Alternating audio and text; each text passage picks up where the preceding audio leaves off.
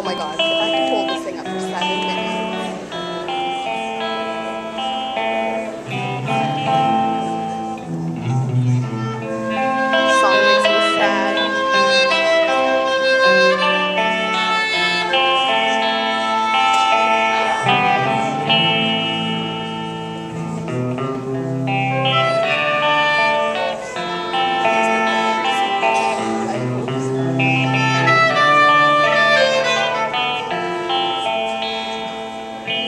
I hope you get some.